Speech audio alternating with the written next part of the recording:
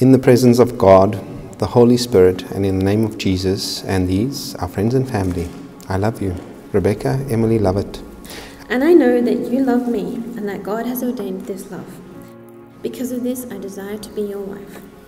Together we will be vessels for his service in accordance with his will, that we may partake of the heavenly sanctuary on this earth. According to Ephesians 5, and with his enabling power, I promise to endeavor to show to you the same kind of love as Christ showed his church.